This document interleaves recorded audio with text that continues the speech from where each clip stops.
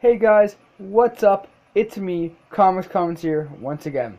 This is just a short little video uh, just talk to you guys about why I am uh, don't edit.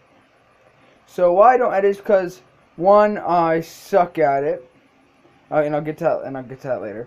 But I'm uh, right, and two it's I it's fucking hard like, but like well, actually what I just said a couple of minutes like seconds ago. One time I wanted to go edit a really good video I made, okay? And I thought I edited about the bad parts. I edited the good parts. So the only parts you got were the actual bad parts. So yeah, that's yeah, that's so that's why I don't edit. Uh, this is this is gonna be a really short video. Like so far, it's, only like 50 seconds.